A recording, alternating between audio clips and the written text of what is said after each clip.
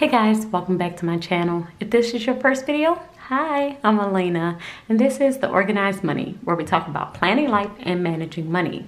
In today's video, I wanted to walk you through how I make a budget in eight simple steps. I'm going to be sharing with you in my budget planner the step-by-step -step process that I do in order to set up my budget for the month. The very first thing that I'll do is actually gather all of my bills and my paperwork. This is all of the mail that has come in throughout the course of the month and I like to look through all of the mail to see if there's anything that I need to address during the month of February. So I usually open up my mail every single Sunday but whatever is coming up for the next month I do set it aside in a special folder in my mail system. But when I'm getting ready to do a new budget for a new month the first thing that I'll do is gather up all of this paperwork so that I can look through everything and see if I need to add it to my budget. After I do that, then I am finally ready to open up my planner and flip to my budget section. I have added all top tabs to my planner in order to make it really easy to flip to different sections. And my budget planner is one that I created in order to have all of my finances together in one section of my planner. It is an undated planner and I do sell it in my Etsy shop. If you're interested, it will be linked in the description box. The second thing that I like to do is brainstorm everything that's coming up for the current month.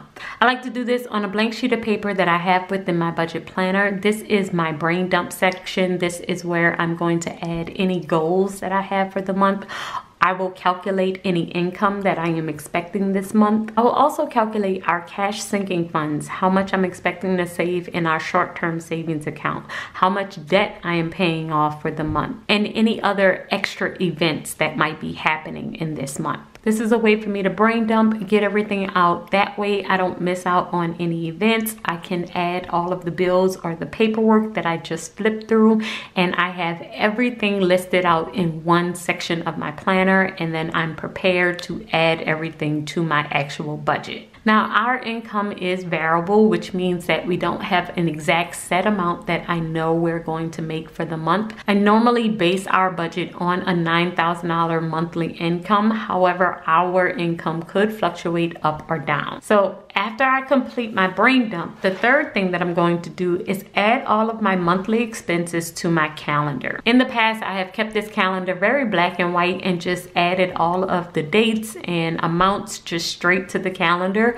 But lately, I have been wanting to decorate my spread. I feel like the more that I decorate, the more that I am actually interested in looking at my budget on a consistent basis. So this month I'm using some Erin Condren stickers just to decorate this spread. It's all about love in February and I just thought it was super cute. So I'm going to use every sticker on this sheet. My monthly calendar mainly serves as my hub, my overview to everything that is happening for the month. I like to add all of my goals at the bottom of the spread. I will also add all of my paydays, which are on Tuesdays and every other Fridays. And then I will add all of my expenses. I use colorful dots to add all of my personal expenses to the spread. And then I will highlight in another color, usually my business expenses. I have started setting up everything to be auto debited as much as possible from my bill account, but I do like to still do this process so that I can know how much money is supposed to be in my account at a certain point in time. Since I pay us every single Tuesday, I will usually color code the different colorful dots that I have based on the check that is assigned to pay those bills. So for this month, the first color code is red as I have the red colorful dots here. The second one is orange. Then we have blue and then I don't have any for the fourth week. And this is mainly because with this paycheck, I am planning on doing extra payment, extra saving, and just investing. Now for this month, I don't really have any events set up. I know that this weekend is Valentine's Day. I did put this love sticker here, but I haven't talked to my husband yet to even figure out if we're going out. I don't believe that we are. I believe we're going to stay in and just do dinner at home. So that's why I don't have any additional expense for Valentine's Day. I also have on my sidebar a little section set up for next month, and that's just so I can brainstorm and put in here anything that's coming up in the next month that I may want to cover. So after you add all of your monthly expenses to your spread, the very next thing that you wanna do is actually break them down.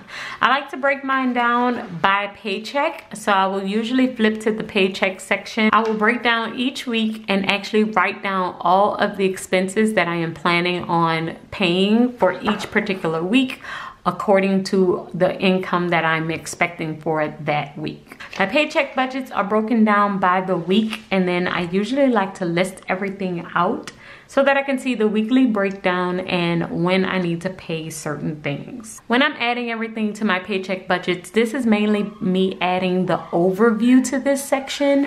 Um, this is just so that I kind of have an overview of what I'm going to pay for the month. When it comes closer to the time where I actually need to do this paycheck budget, then I will look at this list. I may add additional events if I know I'm going out to dinner or something else is coming up. I will add that here here as well. And this is where I'm keeping track of all of the expenses that are coming in and out of my bill account for the week. After I fill out all of my paycheck budgets, then I'm going to go back to my savings tracker and I'm going to add my long-term savings amount here. This is where I keep track of my emergency fund balance. My emergency fund is in a money market account that is separate and apart from all of my other accounts. The starting balance right now is $10,203.08 and I am going to keep track of all of the deposits and withdrawals within this section of my planner. On the opposite side is where I'm going to keep track of my sinking funds. For my sinking funds, I have a short-term savings account, which I have about $3,300 currently in there.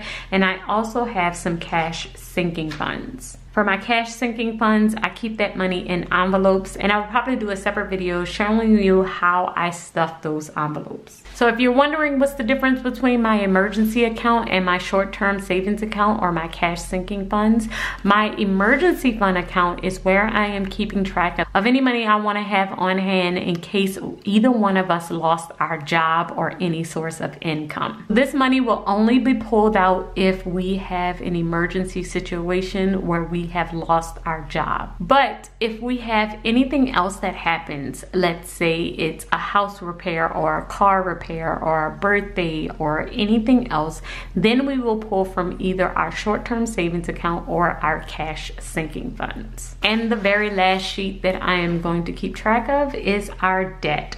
We're currently paying off our credit card and so I do like to keep track of the credit card balance here and how much we are paying off for the month. And the current balance is $10,052.09. My goal is to finish paying this off within the next four months. And that's how I quickly set up my February budget. If you are new to budgeting and you are new to this process, this was a really quick and easy way to help you get started with simple steps. I hope that you will try these steps out and let me know how they work for you in the comments below. I will see you guys in the next video and until next time, keep organizing your life so that you can achieve your dreams. Bye guys.